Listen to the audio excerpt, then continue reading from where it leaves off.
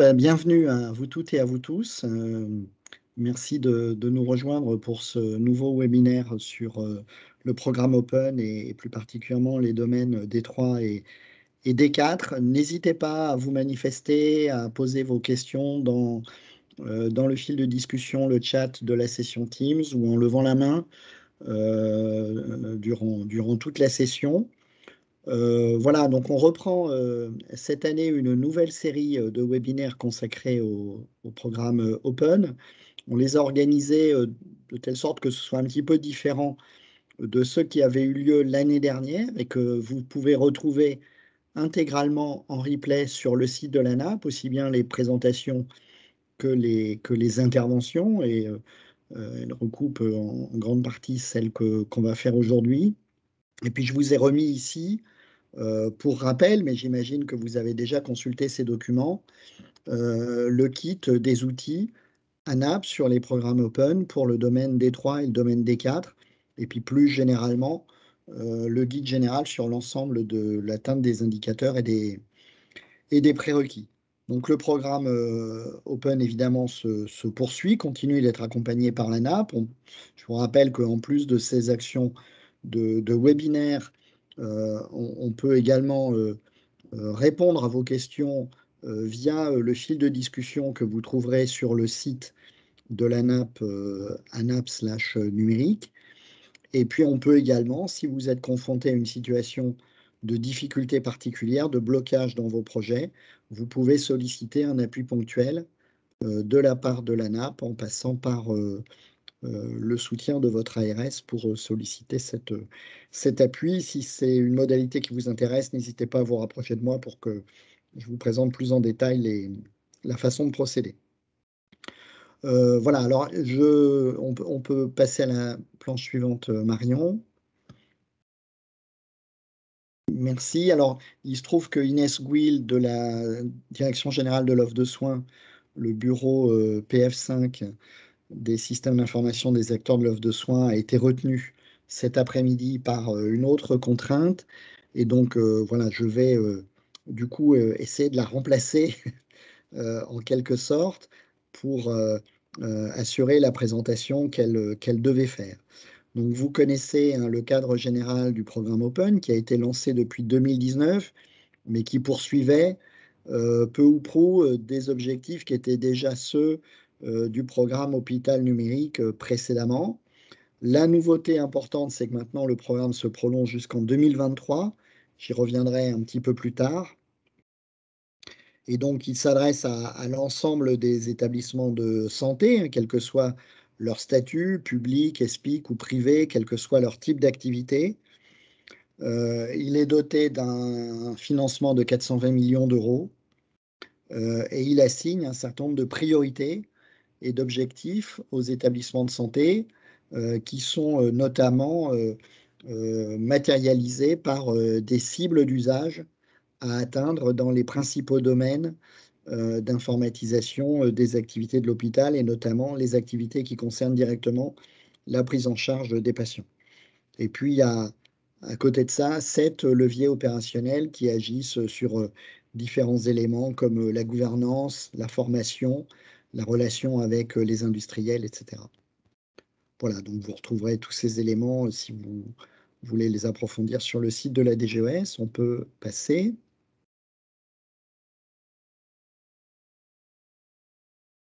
Euh, donc, alors là, désolé, la planche n'est pas tout à fait à jour. On va aujourd'hui s'intéresser au domaine D3 qui concerne la prescription et le plan de soins et au domaine des quatre, la, programmation des ressources et les, agendas.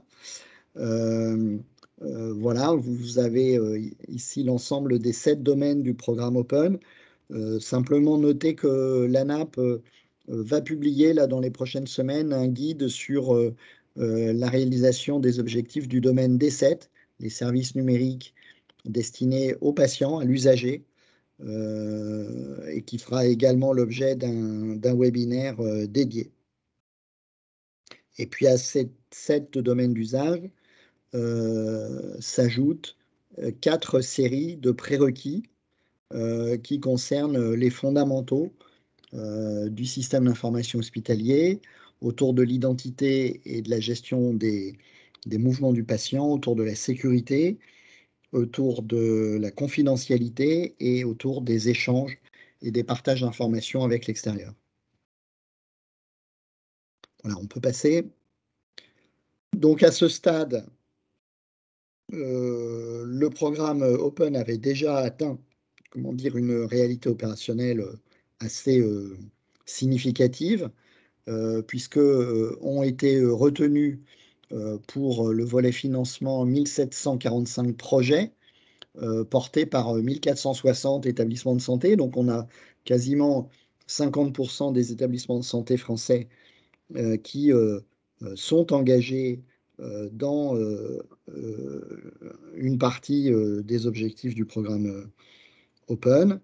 Et à, la fin 2021, on avait déjà voilà, un gros tiers de, de, ces 1400 établissements, de ces 1700 projets qui avaient été qui avaient atteint leurs objectifs finaux et qui avaient été validés. Donc vous avez là sur le camembert la répartition des projets par, euh, par type de structure, euh, voilà, qui finalement est assez euh, analogue à, ce qu'est la répartition de l'offre de soins hospitalière en France. Et donc voilà, il n'y a pas de ce que montre le, le camembert, c'est que finalement il n'y a pas de, de, structure qui soit particulièrement avantagée ou particulièrement désavantagée euh, au regard du programme Open, et ce qui est bien normal puisque le, euh, le programme est tout à fait, euh, les objectifs assignés aux établissements sont tout à fait indépendants de leur, de leur structure, de leur statut juridique. Et donc sur les 420 millions d'euros, il y avait déjà un peu plus de 200 millions qui avaient été engagés et ventilés auprès des agences régionales de santé. On peut passer à la suivante. Euh, alors, il y a euh, des nouveautés euh, dans le, programme Open avec une nouvelle instruction sur le slide qui a été fait, qui a été mise à jour hier. On avait encore laissé nouvelle instruction apparaître, mais en fait, l'instruction a été publiée au bulletin officiel aujourd'hui même. donc, vous pourrez la retrouver euh, voilà, dès aujourd'hui, euh, en consultant euh, le, le BO ou bien d'ici un jour ou deux via les dépêches d'agence, il s'agit de l'instruction DGOS, DGOS PF5 2022 du 5 janvier 2022.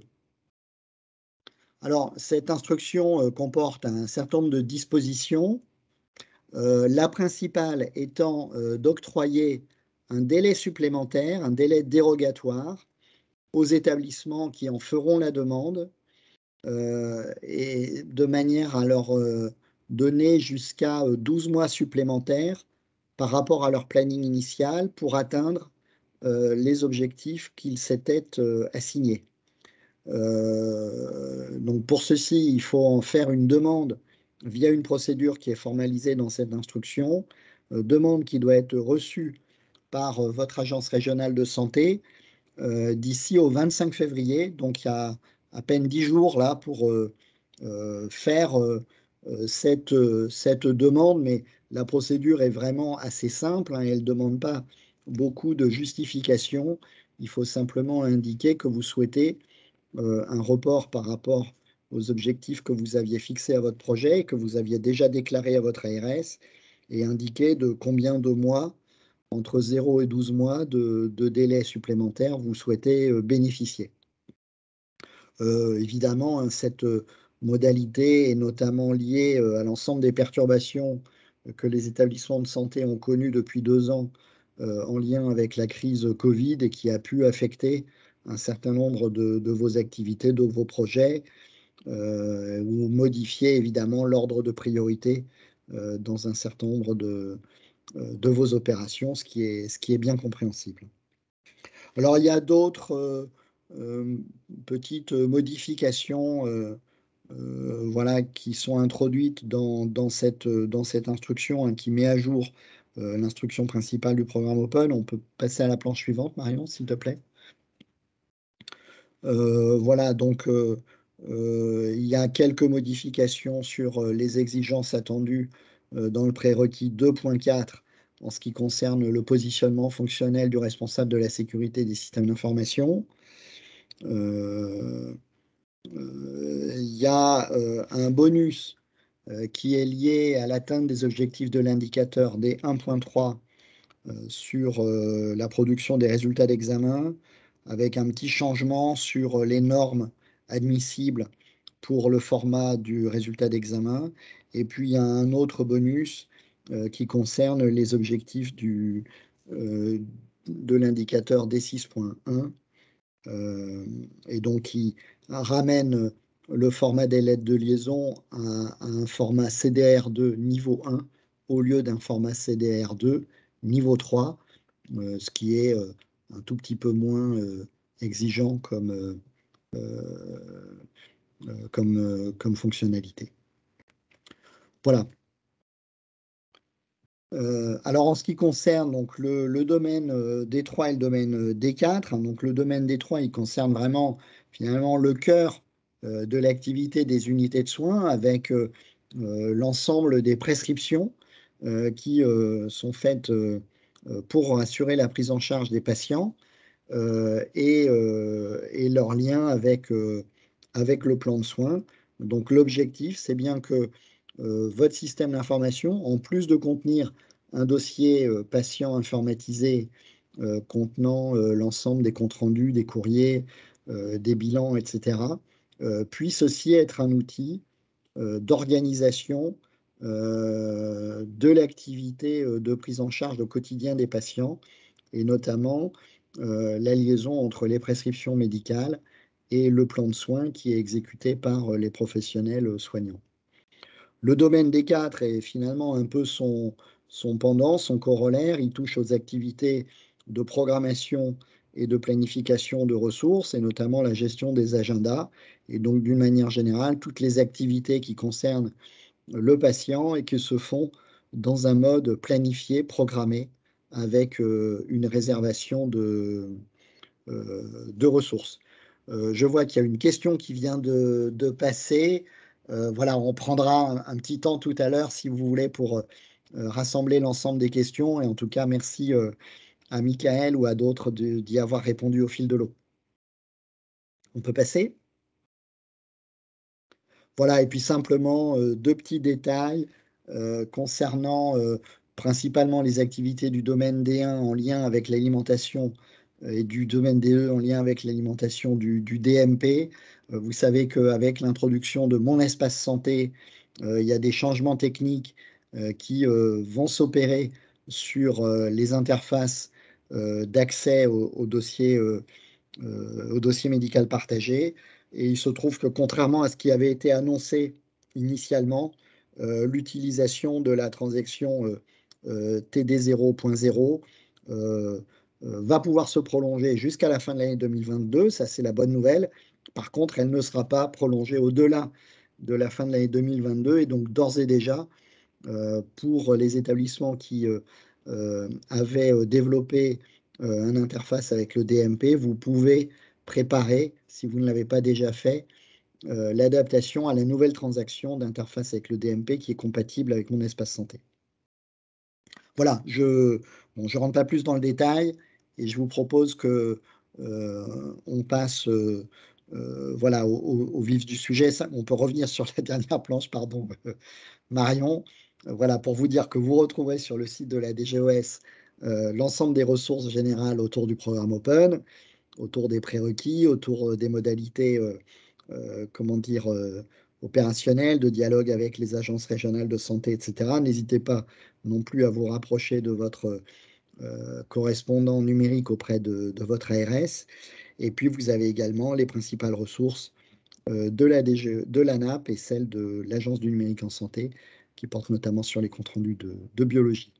Voilà, donc on peut passer au vif du sujet sur les domaines D3 et D4. Merci beaucoup pour votre attention. Et la parole est donc à Michael Ten, notre expert numérique, qui va vous présenter la boîte à outils pour informatiser la prescription alimentant le plan de soins, le domaine des trois. À toi la parole, Michael. Merci Marion, bonjour à toutes et tous. Donc effectivement, bah, Michael Ten. Alors moi, je suis euh, expert à la NAP dans le réseau des experts numériques depuis maintenant à peu près cinq ans. Euh, et je suis euh, actuellement en poste à Nice. Hein. je, suis, directeur des systèmes d'information du groupement hospitalier territoire des Alpes-Maritimes et donc du CHU de Nice et de 12 autres établissements de santé publique. Voilà pour la présentation. Euh, concernant le kit D3, donc euh, ce kit s'articule en trois parties. Une première partie qui euh, consiste, comment dire, à, pouvoir faire un autodiagnostic avec, à travers des séries de questions hein, pour pouvoir bah, mesurer le niveau de, d'avancée par rapport au, projet. Le deuxième outil, c'est un plan d'action hein, associé qui découle de cet autodiagnostic avec euh, euh, bah, un plan personnalisé d'action à mettre en œuvre pour pouvoir mener à bien euh, le projet Open. Et enfin, un troisième kit qui consiste à avoir des outils ressources, alors avec des guides ANAP que vous connaissez sans doute, hein, qui permettent de bah, pouvoir mener à bien ce projet. Très rapidement, les outils ANA pour les projets SI, euh, euh, vous les connaissez, j'imagine. C'est un petit rappel avec euh, un kit pour les déploiements d'une solution SI, un kit achat SI et relations constructives pardon, avec l'éditeur, des marchés processus, conduite du changement, communication. Il y a un kit RGPD également. J'ai vu qu'il y avait des questions notamment sur la partie SSI en sécurité. On a souvent des questions sur le RGPD. Il existe un kit RGPD ANAP et un kit gestion de projet SI dans une structure sanitaire qui est très en lien avec notre sujet d'aujourd'hui. Alors, on, a listé là sur deux planches les principales actions à mener par indicateur. Euh, concernant les indicateurs D3.1 à D3.4, euh, je, vais vous épargner la relecture du titre. Hein. Euh, très clairement, il y a des actions à mener avant de, s'embarquer dans, ce projet. la, première action, ce sera bien de définir la notion de séjour concerné. Euh, est-ce qu'on fait uniquement de l'hospitalisation euh, complète? Est-ce qu'on fait euh, les consultations, les consultations externes, les consultations internes? Vous voyez, il faut vraiment pouvoir bien déterminer de quel séjour on parle quand on, va calculer les indicateurs. Il faut réaliser un cadrage complet du projet de prescription électronique.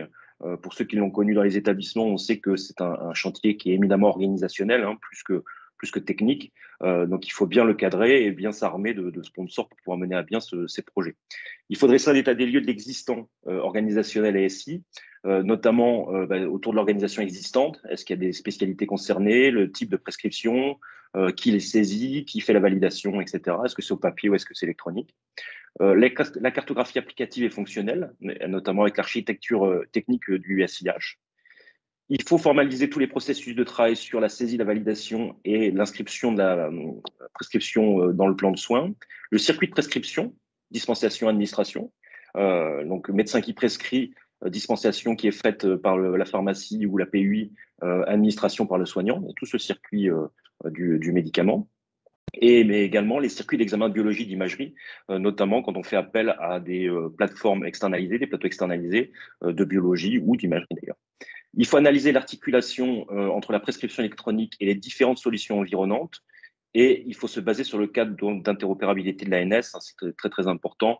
Euh, alors euh, pour ceux qui ont travaillé sur le circuit du médicament, vous savez qu'on a longtemps parlé de la PN13, hein, PN13 qui était une norme d'interopérabilité, mais qui s'est très vite transformée en PN13 associée à nos éditeurs et qu'on a transformé dans tous les sens pour pouvoir essayer de faire euh, euh, correspondre nos, logiciels, soit DPI avec euh, pharmacie, soit logiciels de spécialité.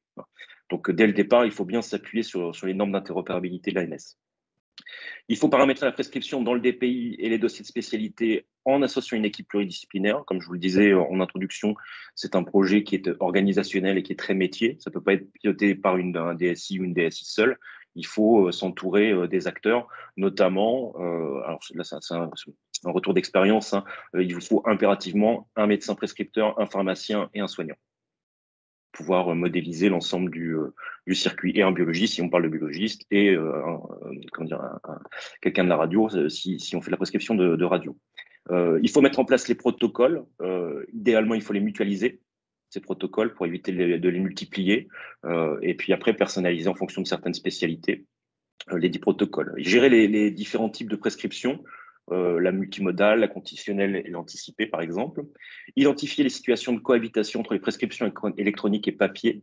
quand on démarre le projet, on arrive rarement à 100% de dématérialisation de, des prescriptions. Donc, il faut identifier ben, ce circuit pour pouvoir faire en sorte qu'il y ait une correspondance entre l'électronique et, le papier qui puisse cohabiter sans, générer de risques pour le patient.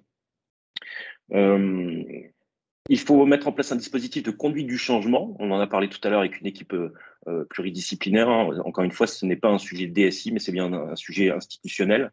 Donc, il faut s'entourer de sponsors assez forts, notamment euh, la présidence de la CME euh, dans les établissements pour, pour pouvoir permettre d'appuyer ce projet et faire en sorte qu'il puisse se dérouler sans, sans, trop de difficultés. Même si des difficultés, on sait, il y en a. Il faut mettre en place et suivre périodiquement les indicateurs d'usage. Ces indicateurs open et on le disait tout à l'heure en, introduction, euh, les indicateurs open, il faut les voir comme des indicateurs de qualité et non pas uniquement des indicateurs qui permettent d'obtenir un, financement euh, à l'usage. Ils doivent nous servir à pouvoir mesurer le taux d'usage et la qualité de notre système d'information, euh, et notamment autour de, bah, la prescription. ces indicateurs-là, on va les retrouver par ailleurs dans les indicateurs HAS hein, qui, vont nous servir pour les, pour les certifications et les IFAC.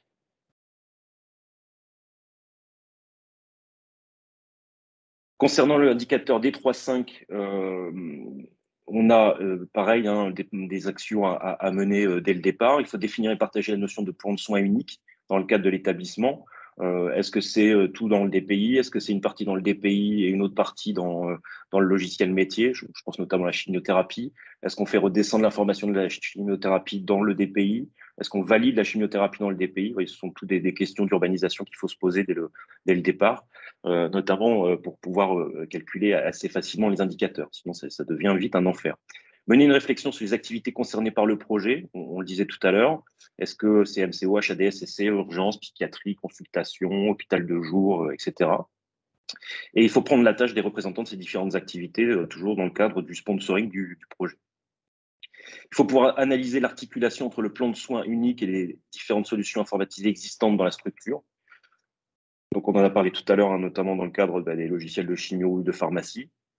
Encore une fois, on, recommande de se baser sur le cadre d'interopérabilité de l'ANS. Il faut formaliser le processus de travail sur la saisie, la validation et l'inscription de la prescription au, plan de soins, toujours pareil, la conduite du changement. Paramétrer le plan de soins dans le DPI et les dossiers de spécialité euh, avec un plan de soins par l'ensemble des prescriptions. Organiser le plan de soins de manière claire et lisible pour l'ensemble des actes à effectuer. Regrouper l'ensemble des actes médicaux et paramédicaux prescrits et permettre de visualiser en temps réel par les soignants les actes, en tracer l'exécution ou en suivre la demande. C'est très important d'avoir euh, ce temps réel et d'avoir une remontée immédiate euh, des traitements sans décalage horaire, sans, euh, sans avoir la nécessité à ressaisir. Il faut définir une politique d'accès aux prescriptions et plans de soins selon les différents profils utilisateurs. Ça, c'est assez classique dans les déploiements de, systèmes d'information numérique en santé. Hein. il faut bien gérer les droits et habilitations en lien avec les DIM, en lien avec la communauté médicale et paramédicale. Il faut mettre en place un dispositif de conduite de changement pour accompagner les équipes médicales et l'utilisation des outils. Moi, ce que je recommande hein, toujours, c'est d'être au plus près du terrain. On peut, difficilement leur mettre un outil qui, change leur pratique sans les accompagner au, plus près du terrain et donc prévoir une équipe projet euh, dimensionnée pour pouvoir euh, accompagner les professionnels sur le, terrain et les aider autant que nécessaire pour, réaliser cette conduite du changement. Merci beaucoup, Michael. Maintenant, on va passer au retour d'expérience sur ce domaine Détroit. Donc, euh, je, on continue avec Michael, mais également avec Thierry Morvan, donc, qui pourra se présenter. Euh, donc voilà, on va avoir deux facettes de retour d'expérience. Michael plutôt secteur public et Thierry qui sera secteur privé. Merci Marion. En tout cas, dans ce cas, je continue. Alors, on va vous présenter un, indicateur par indicateur avec euh, un retour sur l'expérience et euh, une, comment dire, on va vous citer quelques points durs. Alors, les points durs euh, à la nappe, pour ceux qui, sont des initiés du langage anapien, ce sont les, points de difficulté qu'il faut, faut comment dire, surmonter pour pouvoir mener à bien bah, l'action qu'on souhaite engager. Sur le D3.1, donc le taux de séjour qui dispose de prescription du médicament informatisé, un petit rappel, hein, il faut atteindre 80% des séjours concernés. Une fois que vous aurez déterminé d'ailleurs euh, de quel séjour euh, il s'agit et quels séjours vont être pris en compte dans le, euh, dans le calcul de l'indicateur. sur les retours d'expérience, donc en termes d'établissement public, et vous verrez, on en reparlera assez souvent dans le cadre du GHT, c'est résoudre le problème de l'identité, l'identité du, territoire. Alors avec l'intégration de l'INS, euh, ça c'est très, euh, euh, comment dire, on, en parle beaucoup en ce moment, mais il y a également l'identité fédérée de territoire qui est très importante si on répond à ce plan dans le cadre d'un groupement hospitalier de territoire. Il faut pour ça aussi mettre en place un EAI mutualisé sur le GHT, ça c'est vraiment une condition sine qua non et pas que pour cet indicateur-là. Hein. il, s'applique dans l'ensemble des, pour l'ensemble pardon des, des indicateurs. c'est la brique indispensable de toute façon pour mener à bien les, les projets sur le, territoire. Situation facilitante en GHT, bah, c'est quand on a un DPI unique incluant le circuit du médicament. Euh, bon, je, pense que vous êtes tous au fait qu'aujourd'hui, la convergence des systèmes d'information dans le cadre des groupements hospitaliers de territoire euh, et donc la mise en œuvre d'un DPI unique, c'est pas forcément ce qu'il y a de plus répandu euh, sur, le territoire français. On voit de plus en plus de, portails d'intermédiation hein, qui permettent de couches applicatives intermédiaires, vous voyez, qui permettent de concentrer le, euh, les informations produites dans les DPI, euh, mais ce sont que des, euh, comment dire, des logiciels qui permettent de, consulter l'information, mais pas d'en produire. Il n'y aura pas de coût de circuit du médicament dedans. Il faut interdire les prescriptions papier. Alors ça, c'est une décision qui est éminemment politique et qui doit être prise par le président de la CME en concert, de, concert avec le, directeur de l'établissement. encore une fois, c'est pas la, DSI qui peut porter ce type de, de sujet seul. Il faut gérer la prescription du traitement usuel et les récupérer euh, avec le DMP notamment, le dossier pharmaceutique et, je vous en parlais, les plateformes d'échange et de partage, donc la plateforme d'intermédiation. Concernant les poids durs, eh on a la maturité dans les DPI euh, des prescriptions sensibles. On a cité euh, notamment les nutritions parentérales pédiatriques et oncologiques. Euh, on en a d'autres. Hein. On, sait que notamment sur les chimiothérapies, euh, aujourd'hui, les DPI du marché ne sont pour la plupart pas en capacité de, nous permettre de prescrire et d'administrer de la chimiothérapie. Donc on passe par des logiciels tiers pour pouvoir réussir à informatiser cette spécialité. Cohabitation dans le même établissement de logiciels de spécialité, j'espère qu'on en verra de moins en moins, mais on, a encore dans certains établissements effectivement des logiciels qui cohabitent métiers euh, qui, euh, cohabitent et, des pays dans lesquels on va retrouver, bah, par exemple, la prescription. Le défaut d'interopérabilité de logiciels de prescription, notamment médical et pharmaceutique. On peut aussi parler de laboratoire et euh, d'imagerie. Et là, on est sur le D3.1. Je te laisse la parole, Thierry. Bonjour à tous. Attendez, j'ai le micro ou pas? Attends, je vérifie. Oui, parce que j'ai mis. J'ai mis. Oui, non, j'ai mis le. Je me suis mis en grand écran, donc vous voyez plus grand chose là. Bon, Thierry Morvan, donc moi je suis un clinicien euh, dans mon cœur et dans, dans, mes actions. Je suis un médecin anesthésiste, je suis euh, expert euh, avec Michael depuis euh, quelques années aussi à la NAP. je suis consultant dans la sécurisation du médicament à l'ARS Nouvelle-Aquitaine, plus particulièrement à l'Omédite. voilà, porteur de plusieurs projets au national avec la NAP, l'ANS et la CNAM sur euh, des projets qui sont dans, mon cœur de métier et d'autres qui commencent à dépasser mon cœur de métier. Voilà. Euh, voilà pour les présentations. Euh, donc, moi, je vous parlais des REX sur le D3.1. Alors, côté, côté privé, non pas côté public, pour avoir exercé pendant 30 ans dans un établissement privé. Alors, bon, la gestion du déploiement d'un système d'information nécessite quand même la cohésion de tous les professionnels, il faut être capable d'avoir une équipe pilote pluriprofessionnelle, il faut avoir une implication de la, CME euh, et de la direction pour que le projet puisse, euh, puisse adhérer. Alors, Michael en a parlé, mais donc conduire une réflexion au niveau de l'intégration attendue des dossiers de, spécialisé, de spécialité, c'est quelque chose de récurrent. Euh, pourquoi? Parce que beaucoup de systèmes d'information euh, ont des, des, spécificités génériques et euh, certaines spécialités ont des, des, outils beaucoup plus spécifiques et il faut impérativement euh, s'assurer qu'ils puissent être communicants avec le, le, ce qui va être mis en place, quoi qu'il en soit, et plus particulièrement là au niveau de la prescription. être avoir un logiciel qui soit en capacité de faire des prescriptions anticipées. Euh, je prendrai le cas tout bête, c'est du patient qu'on fait rentrer un dimanche soir pour être pris en charge médicalement ou chirurgicalement le lundi matin, euh, il y a peu de chances que les, les, professionnels qui le prendront en charge viendront le dimanche soir pour euh, écrire toutes ces prescriptions médicamenteuses ou non médicamenteuses. Voilà. Alors, il y a un frein humain que l'on rencontre et que, qui a déjà été évoqué, c'est le risque de non-communication inter-SI, avec des risques de retranscription. cela, c'est quelque chose, vraiment, c'est un, élément qui est qui était récurrent, espérons qu'il ne, qui, qui, qui, se transforme un peu, mais c'est un élément qu'il faut prendre en compte. Voilà. Alors, peut-on prescrire des, dans diverses applications de l'établissement via un plan de soins unique? Ça, c'est aussi un autre, une autre convergence qui est à, l'identique de la, de la supérieure. Euh, le pilotage de, alors les points durs, pilotage des, des groupes de travail du paramétrage. Euh, là, il va falloir euh, faire adhérer tous les professionnels. L'intérêt, c'est déjà de lors de lors des migrations sur un nouveau SI, euh, c'est de pouvoir faire participer toute la CME euh, et avoir une adhésion elle sera pas totale, elle sera, jamais totale, mais euh, des équipes médicales et paramédicales, voilà. Euh, il y a une multiplicité des, euh, des applicatifs de prescription. Alors, Michael parlait de la chimio. Il y a tous les plateaux techniques, que ce soit l'obstétrique avec la maternité, que ce soit l'anesthésie, euh, que ce soit les soins critiques. Voilà, donc euh, ça, c'est un élément qu'il faut prendre en compte aussi et qui est un point dur. Euh, il faut arriver à convaincre l'ensemble des professionnels à systématiser leurs prescriptions numériquement. Euh, il a été évoqué juste avant euh, d'interdire les prescriptions papier.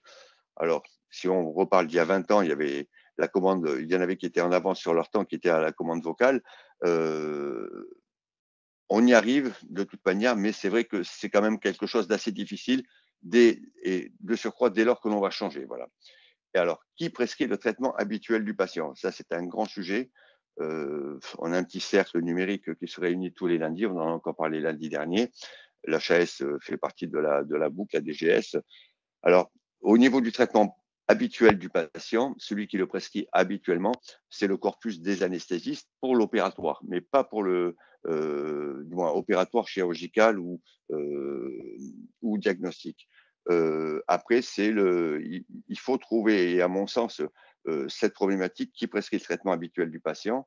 Euh, selon la, la, la voie d'entrée du, du, patient, ce sera euh, alors dans le cadre interventionnel, thérapeutique ou diagnostique, ce sera l'anesthésiste.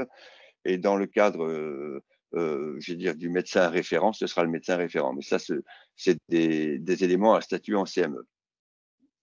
Diapo suivante, je te repasse la parole, Michael.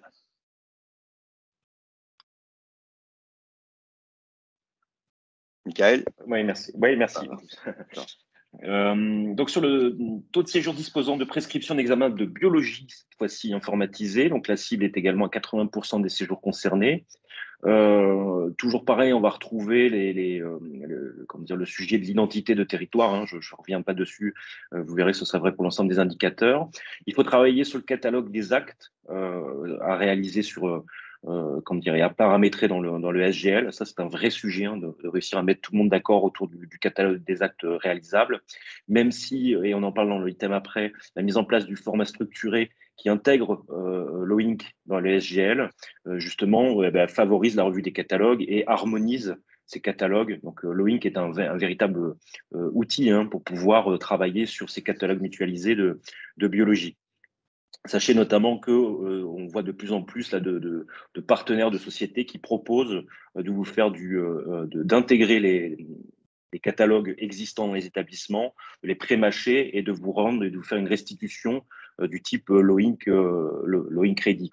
et donc eux, ils, ils, se basent sur les catalogues existants et après ils vous restituent l'outil. Ça vous évite de repasser sur tous vos catalogues. Il faut adopter une nomenclature identique entre ce qui est paramétré dans le DPI et euh, côté laboratoire, ça c'est indispensable, hein, ne serait-ce que pour des, soucis de maintien de l'interopérabilité. Sinon, euh, au, début, du, projet, vous retrouverez vos teams et au bout d'un an, vous ne saurez plus euh, qu'est-ce qui correspond à quoi. Donc, il est bien, il est même primordial d'aligner les deux, les deux catalogues. Il faut choisir un SGL unique, euh, et ça c'est euh, parfois très compliqué, notamment sur le territoire, euh, parce qu'on a des, des, SGL, des systèmes de gestion de laboratoire qui sont existants depuis des années, et quand on sait le, travail que ça demande pour pouvoir déployer un SGL, souvent vous avez les établissements qui sont réticents à, à en changer sous, sous, couvert de la convergence des systèmes d'information. Il faut toujours mettre en place l'UAI de, territoire, donc mutualisé, j'en ai parlé tout à l'heure, et il va falloir gérer l'interopérabilité entre les SGL et les DPI si on ne fait pas le choix d'un appel contextuel, soit sur un serveur de résultats, soit sur un serveur de prescription, si on va prescrire dans le, dans SGL. Concernant les points durs, eh bien, il y a euh, le, fait de compter les examens prescrits à l'extérieur de l'établissement, quand on fait appel à des, euh, notamment à des labos euh, extérieurs.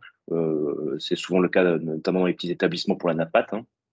Disposer d'outils décisionnels, ça on sait que c'est très compliqué sur les SGL, et l'harmonisation de la protocolisation, notamment avec une application de la CME. C'est le même sujet que pour le médicament. Hein. Encore une fois, ce n'est pas un sujet SI, c'est vraiment un sujet institutionnel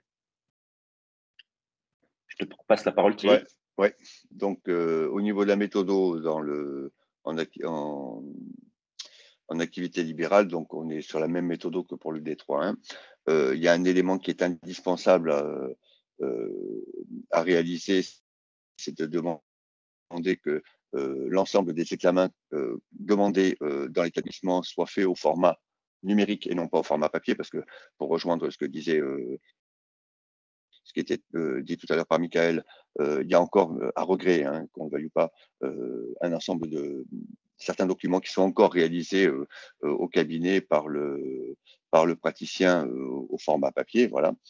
il faut que le paramétrage soit possible. Michael a déjà donné une des grandes solutions. pour l'adhésion des professionnels, c'est le, paramétrage intraspécialité. Alors ça, c'est important.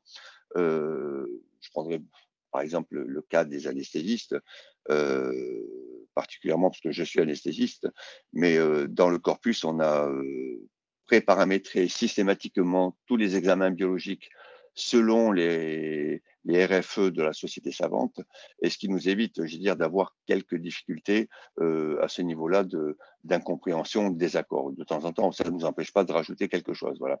Le protocole, alors, euh, doit réaliser une prescription des demandes d'examen biologique à partir de protocoles validés, multidata par spécialité ou par médecin. C'est ce que je venais de vous dire. La prescription anticipée alors, j'en reviens toujours euh, à ce qu'on disait tout à l'heure, c'est euh, euh, l'exemple de la préhospitalisation, donc rentrant le dimanche soir. Alors, la problématique, c'est la convergence et la nécessité d'avoir, par la multiplicité des applicatifs spécialisés, de concourir à une convergence. Bon, ça, on a l'impression qu'avec la, nouvelle ère numérique, la convergence devrait se devrait exister. Alors, dans les points durs, donc multiplicité des SI de spécialité, euh, chacun, euh, alors chaque spécialisé, chaque spécialité a son, son propre SI. Il faut euh, s'arranger pour que ça puisse converger systématiquement. voilà, donc l'onco, la maternité, la réanimation, l'anesthésie sont les cas les plus classiques. Euh, euh, moi, dans la réanimation, je mettrais euh, tout ce qui est soins critiques. ça va de la pédiatrie au, de la pédiatrie aux, soins intensifs, aux, USC, aux USR bientôt. et voilà.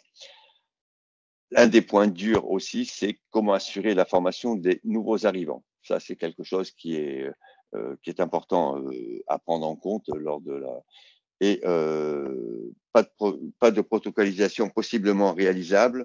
Ça, c'est quelque chose de euh, se méfier un peu de DSI euh, clé en main ou en définitive euh, euh, au niveau de la biologie, eh ben, quand on a, on a des SI qui sont paramétrables, on pourra y mettre tout ce que l'on veut. Ceux qui sont déjà paramétrés, il n'est pas exclu que ce que l'on voudrait mettre et qui n'est pas dedans, on ne puisse pas le mettre. Voilà. Diapo suivante. Et je passe à la diapo suivante. Juste peut-être euh, euh, au vu du timing, peut-être passer un petit peu, euh, un petit peu plus rapidement sur les prochains retours d'expérience, s'il vous plaît. Merci. on y va, on accélère. C'est noté, Marion. alors, cette fois-ci, des examens d'imagerie et d'exploration fonctionnelle informatisée euh, ben, toujours le sujet de, euh, de l'identité, euh, les accès contextuels par séjour ou par patient depuis des pays uniques au risque unique. Il faut penser l'urbanisation du SI et pas faire le choix systématique d'un risque, d'un risque commun. Ce n'est pas obligatoire dans le cadre des GHT, néanmoins, c'est quand même très aidant d'avoir le même risque et le même PAX. mise en place d'un EAI, j'en ai parlé dans les précédents points et c'est toujours d'actualité. La difficulté, ou en tout cas les points durs, c'est l'articulation de la prescription et avec un circuit fluide en imagerie. Encore une fois, un projet d'informatisation de la prescription, c'est organisationnel, c'est pas informatique, hein, donc il faut bien le travailler avec les métiers. Il faut anticiper préalablement les prescriptions antérieures au séjour et il faut gérer les flux avec les prestataires externes de téléradiologie pour qu'ils puissent bien, comment dire, bien réintégrer après le compte rendu dans le, dans le DPI. Donc, euh, je ne reviens pas sur la méthode. Euh, comment implanter un SI en radiologie en établissement privé? Bon, habituellement, ce sont des entités professionnelles contraintes, elles aussi, à gérer en interne leur propre, euh, leur propre catalogue. comment extraire des prescriptions réalisées dans un autre SI Ça, c'est quelque chose d'assez difficile dès lors qu'on n'a pas du tout la main sur les SI. Euh, il faut avoir des mises en place communes de catalogues pour que l'on puisse communiquer, je vais dire, de manière cohérente. Et dans les points durs, donc, c'est la multiplicité des SI. Euh, on aura SI radio, SI scan, SI euh, IRM, SI médecine nucléaire, voilà. Le SI ne permet pas de réaliser des demandes d'imagerie et d'exploration informatisée, autre contexte. Là, on est sur du sans, donc on n'a pas de données structurées et ça peut poser quelques, quelques soucis. Diapo suivante. Merci. Donc, euh, cette fois-ci, le, euh, le taux de séjour disposant de prescriptions informatisées d'actes infirmiers, 80% en, termes de cible d'atteinte. Euh, toujours les, problèmes, ou en tout cas le sujet de l'identité. Il faut travailler sur les schémas cliniques en commun sur le, GHT pour pouvoir bah, harmoniser euh, justement le, paramétrage. Le GHT mutualisé, on en a déjà parlé. Ce qui peut aider également, c'est avoir un DPI unique sur le GHT. Euh, mais euh, comme on vous le disait tout à l'heure, et comme je vous le disais pardon, tout à l'heure, c'est loin d'être le cas aujourd'hui dans les groupements hospitaliers de territoire. donc c'est un, vœu pieux. Faciliter l'intégration du recueil IDE dans le plan de soins du DPI, notamment la pancarte. et ça, ça se fait notamment, bah, on travaille avec les métiers, le, paramétrage. Concernant les points durs, ben, les problèmes de sémantique, en lien avec euh, ces prescriptions informatisées d'actes infirmiers et euh, mettre à disposition une ergonomie métier sécurisée euh, au sein du DPI pour que ça puisse être fluide, mais en même temps sécurisé dans le cadre de la prise en charge du patient. Donc au niveau des prescriptions des actes infirmiers, donc il faut avoir la possibilité, comme tout à l'heure en biologie, avoir la possibilité d'avoir la création d'actes infirmiers. C'est selon vos spécificités. La pédiatrie sera totalement différente de la gériatrie. Euh, faire une grande attention aux habilitations. Euh, le soin de base et euh, ce qui est du rôle propre de l'infirmier versus les soins techniques qui ne peuvent être prescrits que par aujourd'hui, hein, hors IPA, qui ne peuvent être prescrits que par les, par les médecins. Il faut un accès aisé aux et envisager, j'allais dire, des, groupes de travail pour pouvoir bien les réaliser sur, selon les spécificités prises en charge et l'intégration au plan de soins unique. Voilà. dans les points durs que l'on rencontre, c'est toujours euh, les multiplicités de SI euh, et en particulier euh, bon, services d'urgence, soins critiques, secteur d'hospitalisation. Pas de, de protocolisation de soins de base et du rôle propre de l'IDE selon les différentes prises en charge, ça, ça peut être euh, un peu difficile si elles doivent aller chercher euh, euh, un à un chaque, chaque soin de base et pas de prescription de soins techniques réalisés par les PS, les professionnels de santé habilités, ce qui oblige les, le, personnel paramédical à, à devoir prescrire des soins techniques alors qu'elles ne sont pas habilitées à. Voilà.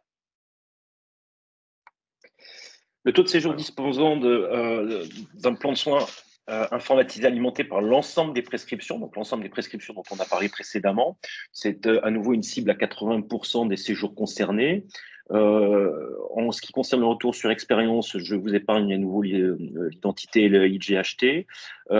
Est-ce qu'on passe par la mise en place d'un appel contextuel sur le DPI ou les dossiers de spécialité? Euh, ça, c'est à déterminer dès le départ. Les prescriptions d'un lieu à l'obtention d'un rendez-vous qui doit apparaître dans le plan de soins, euh, notamment euh, dans le cadre des, bah, parcours préopératoires, hein, par exemple. gérer l'ergonomie du plan de soins en fonction des besoins métiers, on, en a déjà parlé. il est très important d'impliquer bah, les, paramédicaux et c'est ce qu'on a aussi dans le point suivant. Concernant les points durs, euh, eh c'est la, consolidation pardon, du plan de soins, notamment en lien avec l'interopérabilité. Hein. Très souvent, notre, notre problème est là. C'est comment on fait pour, mettre tout dans le plan de soins euh, alors qu'on a des, données qui sont produites dans plusieurs outils différents. Euh, la gestion de la mobilité des SI en favorisant la visualisation et la réalisation des actes infirmiers au plus près du patient. Euh, ça, c'est pareil, c'est un vrai sujet dans nos établissements, mais c'est vrai également quand on commence à parler de HAD et, et qu'on commence à sortir des murs de, l'hôpital. Enfin, la synchronisation secondaire des actes et des prescriptions à l'extérieur de, l'établissement, bah, c'est ce que je viens de vous dire. Donc, euh, chacun des indicateurs définis dans la méthode de calcul euh, du D1 ou D3, ils doivent être fiables, reproductibles et euh, appuyés et, pouvant s'appuyer sur une requête. Donc, il, faut quand même des, éléments structurés. On, a abordé le sujet tout à l'heure. Alors, quid des prescriptions multiples sur les plans de soins? Euh, là, c'est quelque chose de difficile dès lors que ça va pas converger, ça, ça, va poser quand même quelques problèmes. Alors, extraction des séjours non concernés par les trois catégories, euh, on en parle juste dans les points durs. Euh, comment traiter les séjours ne nécessitant aucune prescription, euh, exemple éducation thérapeutique. comment donc les exclure sur la requête? Pas de plan de soins unique, donc ça c'est aussi une, une difficulté au niveau des requêtes et les consultations pré-anesthésie qui se déroulent en dehors du séjour de l'hospitalisation rendent parfois complexe l'intégration des prescriptions des traitements habituels dans le plan de soins avec obligation de retranscription. Ça, c'est euh, alors c'est la pré-anesthésie, mais ça, ça, peut être aussi euh, euh, euh les urgences, euh, l'obstétrique et les soins critiques. Voilà. Voilà, présentation de la boîte à outils pour programmer les ressources et partager l'agenda du patient. Ça va, on était assez rapide, Marion. Je vous propose qu'on peut-être qu'on prenne euh, quelques questions là à ce stade, sans être trop long, et puis euh, avant qu'on démarre le domaine des quatre, et, et puis on finira euh, par la dernière série de questions. Je vois qu'il y a il y, a, il y, a, deux questions principales là, qui émergent, celle qui concerne l'unicité du plan de soins par séjour, et puis celle qui concerne la manière d'exclure du décompte euh, des séjours concernés par euh, les indicateurs du domaine des trois, les éventuels séjours hospitaliers qui n'ont pas vocation à générer des éléments de plan de soins hein, comme des séjours d'éducation thérapeutique ou peut-être que effectivement hein, certaines séances, certains types d'hôpitaux de jour euh, sont organisés de telle sorte qu'il n'y a pas d'éléments euh, de plan de soins qui en découlent. Alors moi, je pense que le, plus simple, hein, euh, c'est simplement que vous soyez en mesure, à partir de votre logiciel de gestion des, malades et des, des, venues et des séjours, de faire le décompte précis des, séjours qui devraient être exclus euh, de la, voilà, du, du, dénominateur sur le nombre de séjours concernés par le plan de soins et puis simplement de faire la soustraction. Quoi. Et, faut, et vous expliquer euh, la motivation par la nature même du, du séjour en lien avec euh, l'UF de destination, avec le motif de, avec le motif de venue. Alors, en ce qui concerne l'unicité du plan de soins, bon, bah, c'est un point qui a été largement présenté. Il n'y a pas de, euh, comment dire, il n'y a pas de solution simple, hein, c'est clair. Euh, euh, donc, si, ce n'est d'avoir un système d'information qui est doté d'un applicatif plan de soins très englobant, sinon, l'autre mécanisme, ben, ça consiste à mettre en place les interfaces qui permettent la consolidation des différents actes dans un même plan de soins. Après, je pense que il est possible comment dire, pour des séjours qui, euh, euh, qui ne se font que dans une seule activité et qui finalement sont monospécialités, s'ils sont gérés par un, système d'information spécifique à cette spécialité, considérer que pour ce séjour, on a bien malgré tout un plan de soins unique, même si ce n'est pas le plan de soins qui est le plus souvent utilisé pour euh, l'essentiel des, autres séjours. Mais euh, voilà, ça pose quand même toujours la question de savoir est-ce qu'on est bien dans un, dans un schéma de, séjour unique, euh, dans, un, voilà, dans un type d'activité tout à fait circonscrit. Je ne sais pas si Michael ou Thierry, vous voulez apporter un complément à ces éléments de réponse. Bah, en fait, vas-y, vas-y, vas-y cette difficulté qui est, soulignée et qui est, une vraie difficulté, hein, enfin avec des, euh, comment dire, des recommandations qui peuvent paraître contradictoires ou en tout cas difficilement réalisables dans, nos établissements, notamment euh, au niveau du GHT. Euh, moi, en retour sur expérience, bah, c'est déjà de faire en sorte que dans chaque établissement, on puisse avoir un plan de soins consolidé, comme le disait Yves, dans lequel on va intégrer bah, l'ensemble des actes qui sont produits euh, sur le SI de l'établissement. Alors ça peut être uniquement en lecture, hein, et on peut par exemple, la chimio par exemple, hein, euh, on valide les chimios dans, le logiciel de chimio et on fait redescendre dans le DPI, dans le plan de soins, le fait que bah, ça a bien été administré, et ça c'est de l'interopérabilité. Après au niveau des, territoires, euh, eh bien, en l'absence de DPI unique, c'est la plateforme d'intermédiation qui le fera, mais cette plateforme d'intermédiation, elle sera encore une fois uniquement en lecture seule. Et là, on aura un plan de soins unique, mais qui sera en lecture des actions, le fait de tracer les actions se fera en dehors de la dite plateforme. ce que je voulais dire, c'était un peu au niveau des soins critiques, il est difficile non pas d'avoir un plan de soins unique, c'est-à-dire que dans le séjour d'un patient, il va être en secteur, euh, soins critiques et un nouveau secteur, et euh, la convergence du soin critique via le secteur, euh, du secteur via le soin critique pose pas de problème, mais du soin critique via le secteur, nécessite, j'allais dire, quand même des travaux qui ne sont pas à l'heure actuelle réalisés. Et c'est vrai que ça, on ne peut pas être réducteur vis-à-vis des soins critiques du fait qu'il faudrait avoir un, plan de soins, un plan de soins unique. Maintenant, il peut exister ce plan de soins unique, si ce n'est que les, je veux dire, les, toutes les prescriptions médicamenteuses et non médicamenteuses pourraient être interrompues dans un système d'information qui est multiparamétrable euh, dès lors que le patient sort de, soins critiques via, via l'hospitalisation. Et on pourrait être sur un, sur un même et unique, peut-être difficile à lire. Voilà. Pardon, j'avais coupé mon micro. La, difficulté que, vous soulignez, euh, elle est en, partie euh, aussi prise en compte par la valeur de l'indicateur cible, hein, qui, ne, concerne pas 100% des séjours, mais euh, euh, un pourcentage moindre, euh, ce qui permet de, laisser la possibilité sur certaines activités très spécifiques, comme par exemple celle des soins, des soins critiques ou d'autres, de ne pas rentrer dans le, le calcul de, l'objectif et du coup de, vous dispenser de l'obligation d'un plan de soins unique pour ces secteurs, à condition que ben, l'assiette de séjour que ça représente, elle reste bien dans la part des exclusions qui sont admises entre 10 et 20% en fonction des indicateurs.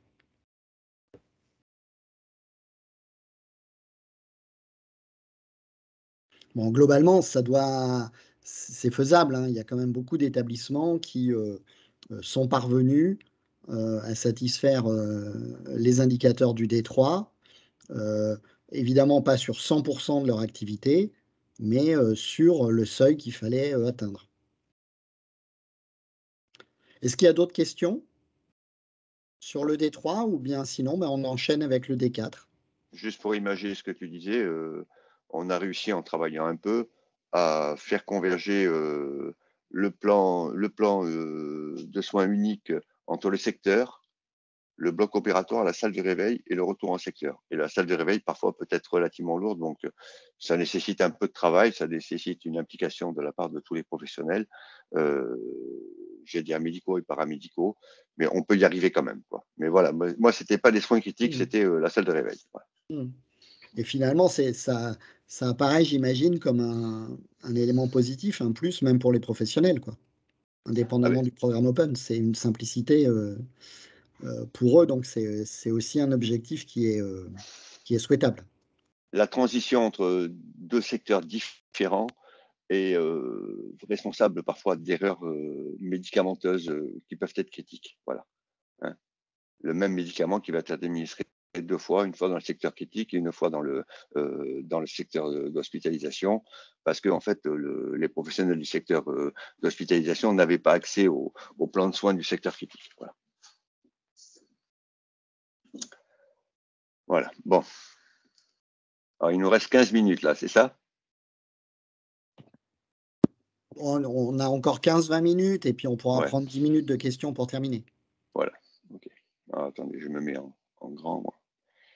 Donc, alors, la présentation de, générale du kit D4. Alors, l'autodiagnostic. Alors, moi, je vous invite tous à euh, les, les, autotests de la, de la NAP. Alors, c'est pas parce que je suis à la NAP, hein, je veux dire, je suis capable d'être critique aussi pour la NAP, mais les autodiagnostics sont quand même assez fantastiques, je voulais, et ils permettent, je veux dire, à tous les établissements de pouvoir avoir un focus exact en fonction des projets d'informatisation que, vous avez, euh, de savoir quels sont les plans d'action à mettre en œuvre, d'accord?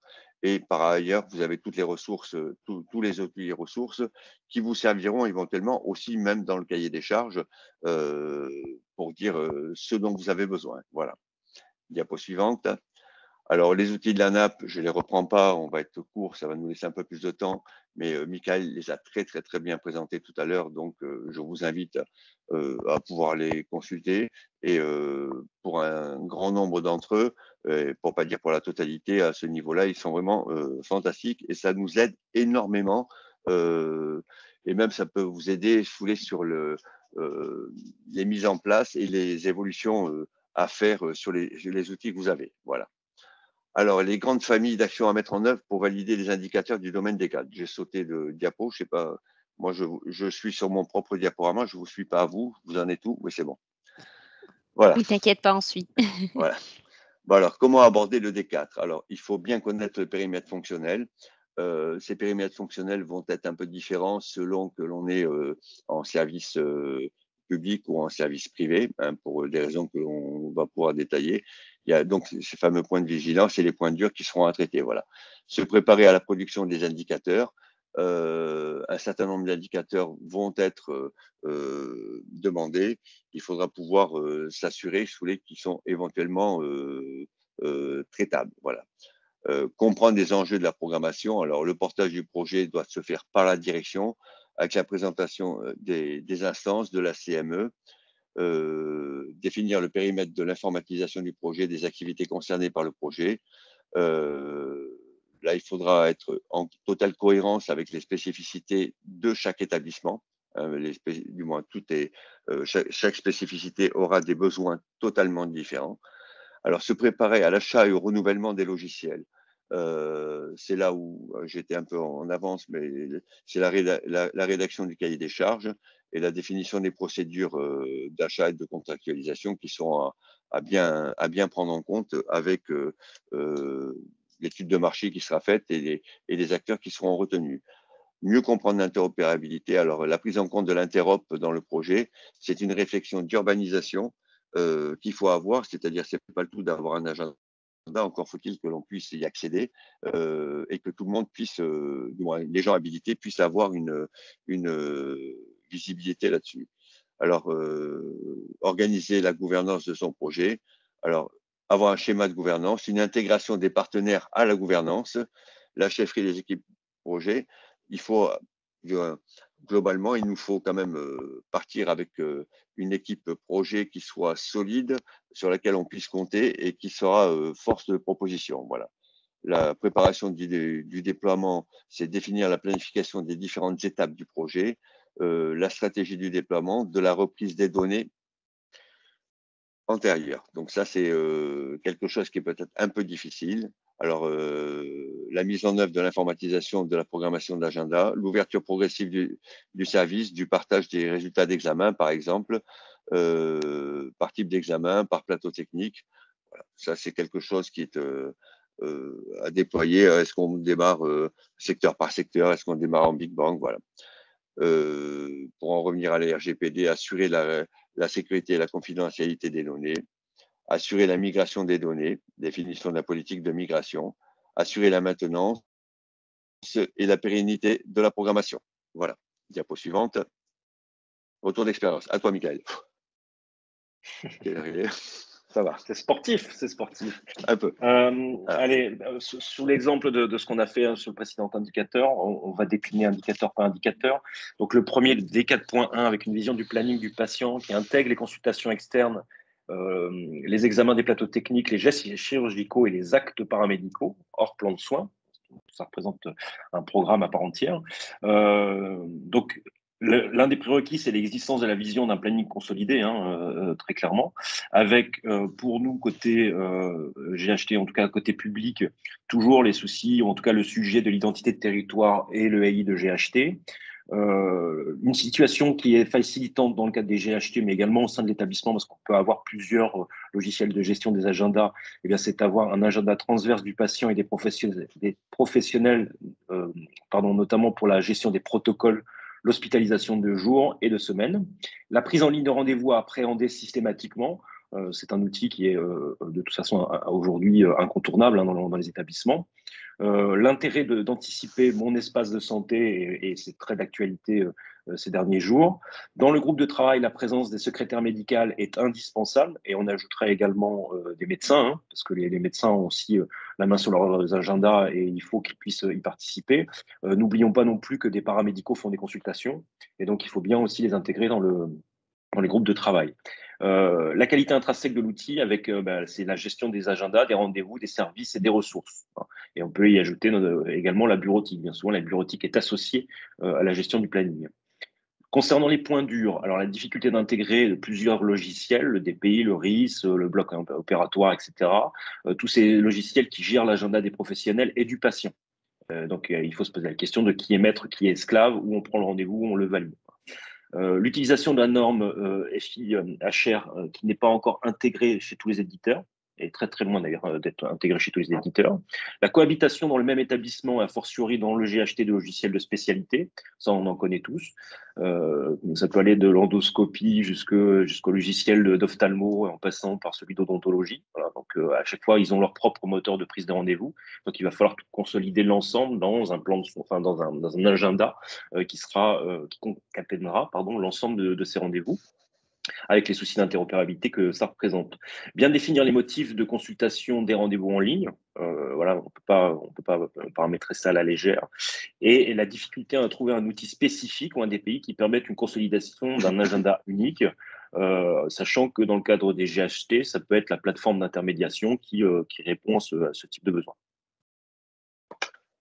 Donc, dans le secteur privé, la, euh, majorité des, établissements privés, euh, je dire, qui ont une activité euh, interventionnelle, chirurgicale ou diagnostique, ont tous au moins un, agenda en rapport avec cette, avec cette activité. et pour les consultations, on va dire, externes faites en interne dans l'établissement, c'est un point dur. beaucoup de praticiens qui soient ou dans l'enceinte de l'établissement ou en extérieur de l'établissement refusent, je veux de partager leurs consultations externes, tout en sachant que leurs patients euh, ne bénéficieront peut-être pas d'éléments diagnostiques ou thérapeutiques au sein de l'établissement. Diapo suivante. Concernant l'indicateur 4.2, euh, donc le taux d'intervention du bloc, cette fois-ci, qui est planifié à l'aide d'un outil de planification partagée ou d'un outil de programmation. On a une cible à 90% des interventions programmées. Euh, il faut, euh, encore une fois, euh, identité et EIGHT. il faut une équipe pluridisciplinaire, on le répète à chaque fois, mais, mais on, enfonce ce, ce, clou parce que c'est indispensable à, la réussite du projet. Il faut veiller à la capacité du logiciel de bloc à intégrer des rendez-vous qui proviennent d'un logiciel transverse. Ce n'est pas toujours le cas. Hein. Souvent, il est, il est à la main, il est maître, il ne veut pas être esclave, ce logiciel de bloc. Euh, il faut un logiciel, idéalement un logiciel de bloc opératoire et d'anesthésie euh, unique pour le GHT. Euh, et, ça, on, sait qu'en termes de conduite du changement, c'est pas c'est pas toujours facile. intérêt d'un agenda transversal pour les rendez-vous liés, ça, effectivement, on comprend bien pourquoi. Il faut que le logiciel de bloc puisse gérer des contraintes supplémentaires qui s'ajoute au rendez-vous déjà planifié, parce que bah, peut avoir du non planifié, mais il faut pouvoir le, l'intégrer dans le logiciel de bloc. Concernant les points durs, eh bien, il y a la distinction entre la planification d'intervention et la programmation effective. Euh, d'où l'intérêt d'avoir un seul et unique outil pour, pour réaliser les deux. Capacité à identifier les interventions réalisées et à réaliser en urgence la difficulté inhérente à la gestion d'un bloc opératoire augmentée du fait de gérer la dimension GHT et l'interopérabilité avec les agendas des solutions tierces. On, voit bien que c'est déjà compliqué au sein même d'un établissement. Alors quand on vient, euh, bah, comme c'est mon cas, euh, ajouter 13 euh, autres établissements, on, multiplie de, par autant la difficulté. Donc au niveau du secteur privé, donc dans la même continuité de ce qu'on disait tout à l'heure pour les, les, praticiens en, extérieur, il faut donc ouvrir euh, un certain nombre de VPN ou connexions sécurisées. Donc, il faut s'assurer d'avoir des bonnes connexions sécurisées, donner accès aux modules de planification à l'ensemble des professionnels habilités à pouvoir les, à pouvoir les prescrire.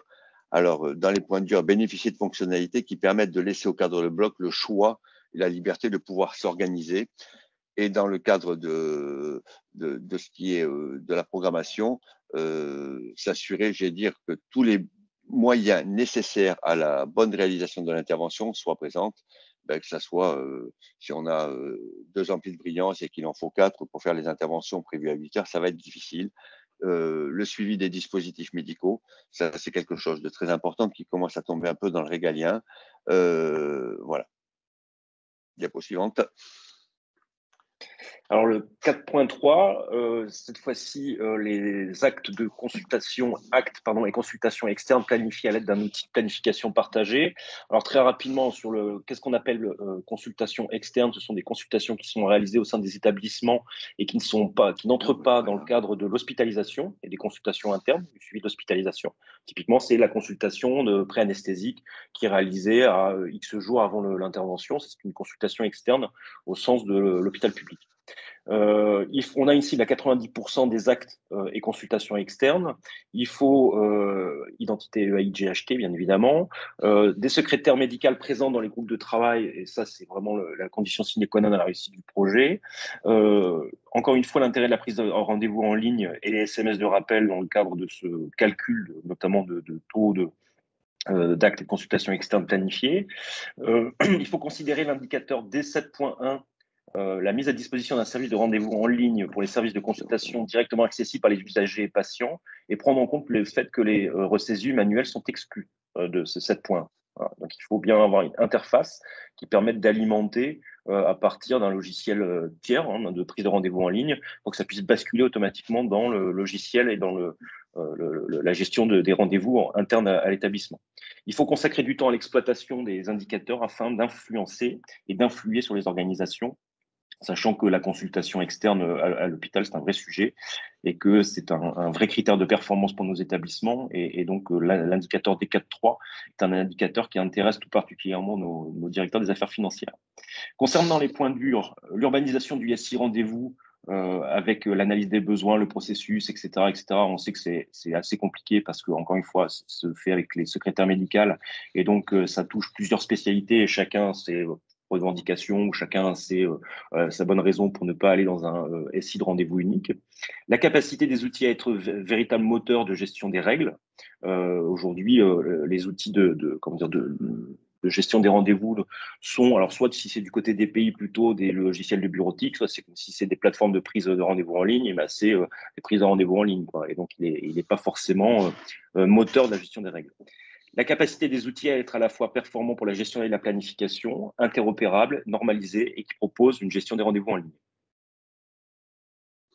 Les consultations externes en établissement, sont excessivement rares pour les raisons évoquées tout à l'heure où beaucoup de praticiens ne veulent pas partager leurs consultations externes de surcroît quand elles n'ont pas de, de, prise en charge euh, derrière au sein même de l'établissement. Euh, bon, il y en a quand même certaines qui sont rares, mais euh, par le service des urgences, euh, durant une hospitalisation ou autre. Voilà, ça, c'est les seules consultations externes que l'on pourra retrouver. Par rapport, il y a une évolution quand même par rapport à cet indicateur-là, c'est que par le passé, les consultations externes étaient tout intégrées dans le cadre de, d'hôpital numérique. Euh, maintenant, les praticiens susceptibles de, réaliser des consultations externes sont libéraux et ne sont pas pris en compte pour le programme Open. Donc, quelque part, ils sont exclus. Voilà. Et dans les points durs, ben, ça rejoint ce qui vient d'être écrit juste avant, c'est le cloisonnement de l'activité libérale des praticiens et le, avec leur activité clinique. Voilà. Diapo suivante, D4.4. Voilà. Le D4.4, le taux d'examen de plateau d'imagerie et d'exploration fonctionnelle, cette, fois-ci planifié à l'aide d'un outil de planification partagée avec une cible à 90% des examens programmés. On voit que c'est une, euh, comment dire, une, une cible qui se veut très, euh, très haute. Euh, il, faut, il faut prendre en compte l'intérêt d'un agenda transverse pour les rendez-vous liés. On en a parlé avant, mais ça s'applique tout particulièrement dans le cadre de l'imagerie et de l'exploration fonctionnelle en lien avec les consultations classiques. Qui, sont réalisées dans l'établissement. L'intérêt de disposer de fonctions statistiques, voire décisionnelles, pour piloter bah, l'ensemble de ces, de ces rendez-vous. mesurer les gains qualitatifs et financiers de la mise en œuvre du domaine 4 et faire une étude d'opportunité à ROI. J'en parlais dans le, cadre du D4.3. Hein, euh, grâce à ces indicateurs, on a vraiment des indicateurs de performance et euh, des critères, euh, notamment dans le cadre du dialogue de pôle avec les pôles imagerie en l'espèce. On peut s'appuyer sur ces, sur ces calculs. L'intégration de la prescription donc du DPI et le plan de soins du DPI en lien avec ces plateaux d'imagerie, sachant que souvent c'est géré dans le RIS et pas dans le DPI. Euh, les points durs, bah, c'est la difficulté d'intégration des risques, gérant l'agenda des professionnels euh, et du patient, qui est maître esclave. On avait la même, euh, difficulté lors des, sur les critères précédents. L'utilisation de la norme FIR qui n'est pas encore intégrée chez tous les éditeurs, pareil, c'est un point dur dans le cadre de cet indicateur et capacité euh, euh, à identifier les rendez-vous afférents une consultation, à ceux afférents une, une hospitalisation. Pardon. Euh, ça, on connaît bien ce sujet, notamment dans le cadre des rappels de SMS. Hein. quand on planifie une radio à quelqu'un qui est hospitalisé qui reçoit son SMS en disant qu'il va faire la radio dans les 10 minutes, et finalement il l'a fait 4 heures plus tard. on a tous eu à traiter ça. C'est le cas également dans le cadre de cet indicateur. Rares sont les établissements qui possèdent, je veux dire, euh, qui ont en propriété un service de radiologie. Le service de radiologie est détenu par des, des, professionnels de radiologie libéraux, au même titre que tous les autres praticiens de l'établissement.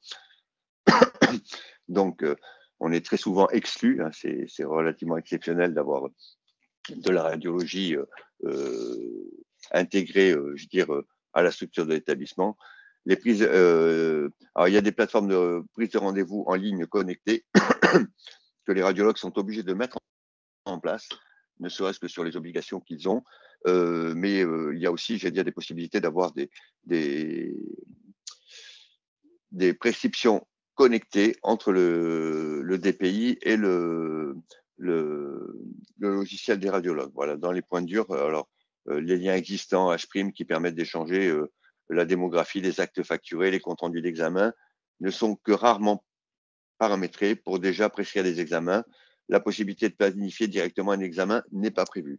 Alors, il y a certaines solutions qui commencent à, se démarquer. Euh, nous, on en a une qui est, bien. Voilà, c'est la prescription connectée. Voilà.